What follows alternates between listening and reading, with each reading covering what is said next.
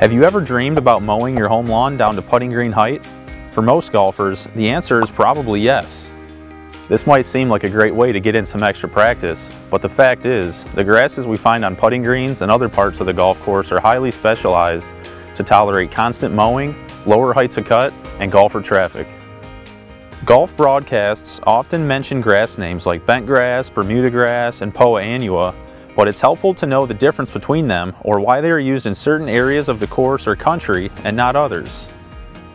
Factors such as climate, height of cut, the amount of shade, soil quality, water quality, and traffic all influence how well different grass types will perform in a given situation.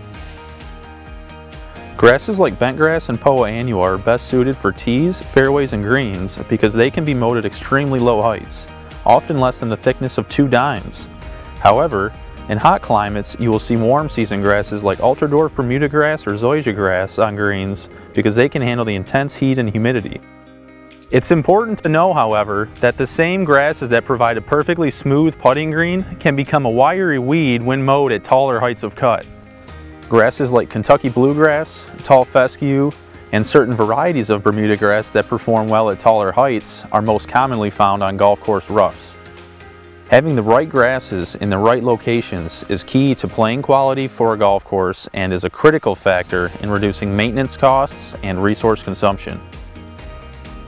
For this reason, the USGA has invested millions of dollars in turfgrass and environmental research with a continued focus on breeding better grasses.